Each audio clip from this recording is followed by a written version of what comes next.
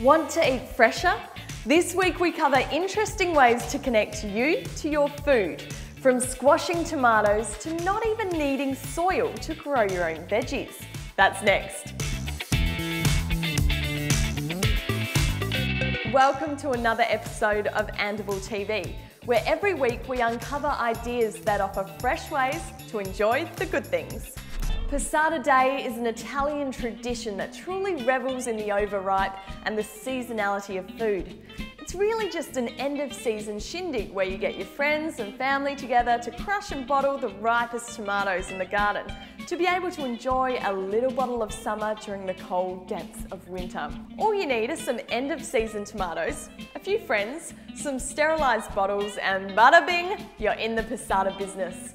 The awesomely messy process includes washing, boiling, smashing and bottling the tomatoes. And after the hard work, the sauce is enjoyed as a big Italian meal. The final result delivers bottles of homemade jarred tomato sauce to keep enjoying well after the last tomato is picked from the vine. Have you preserved any food? We'd love to hear your recipes. We all know the benefits of having our own garden, but it's hard to get a garden growing. So what can you do? The folks at the Little Veggie Patch can help. They come to your place with a complete raised bed made of apple crates. They even tell you what to plant and when. Their patches can fit in the tightest spaces like narrow laneways or even inside restaurants like the Little Creatures Brewery. And if you're in Melbourne, you can rent a space from them on Federation Square's rooftop, which has been transformed into a vibrant veggie garden.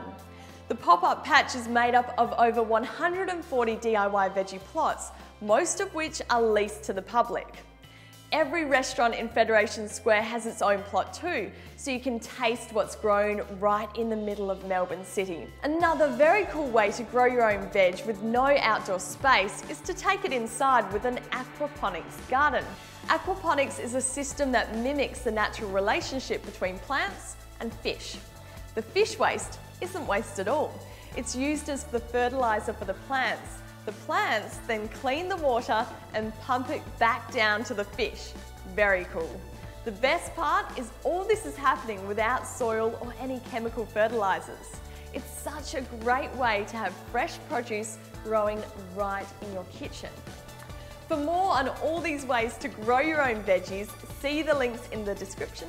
And if you have an interesting way to grow your veggies or even sprout your own mushrooms, we'd love to hear it or even see it. Post a photo on Instagram or video reply below.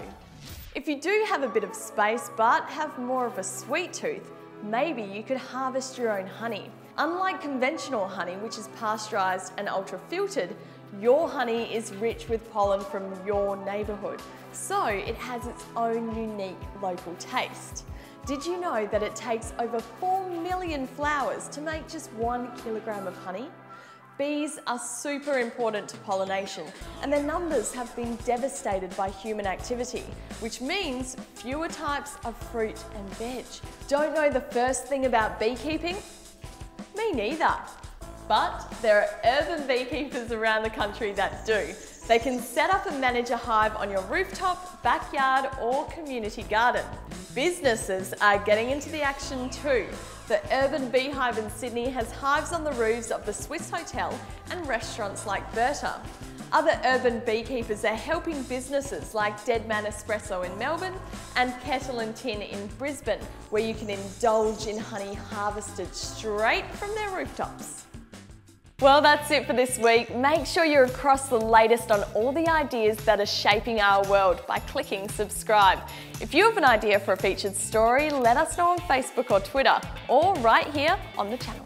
Thanks for joining, and I'll see you next week. Yeah, Saturday. Hey, bada bing. Mwah. Mwah.